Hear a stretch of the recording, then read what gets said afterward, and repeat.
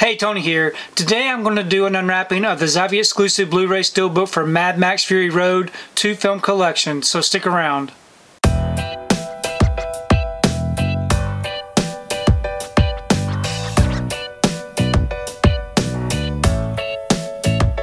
So today I wanted to take time to do an unwrapping of the Zavvi exclusive Blu-ray Steelbook for Mad Max Fury Road. This right here is the two film collection that also includes the black and chrome edition.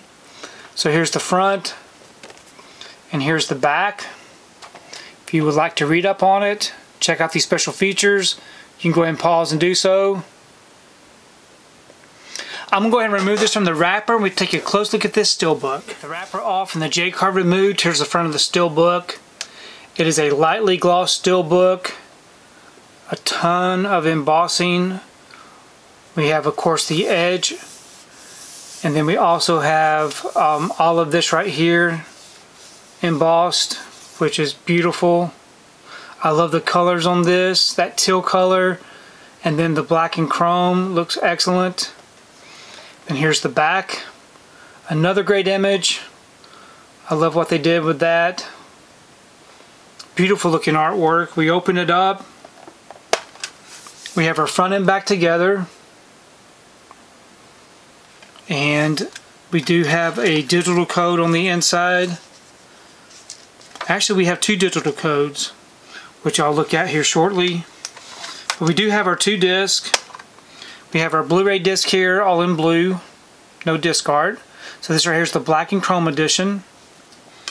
And then we have the Blu-ray disc all in blue with the regular edition.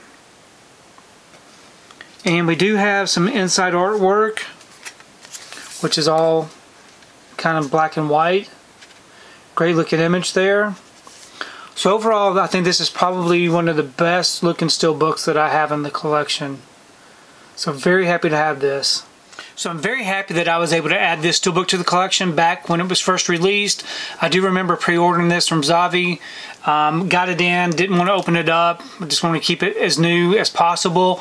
But um, I have recently been reopening. I, I have actually recently been opening up a lot of my steelbooks that I bought back in the day where I didn't want to open them up but now I want to open them up, make sure there's no damage. So very thankful that there was no damage to this one. Please leave me a comment below. Let me know what, what you think about this particular steelbook unwrapping.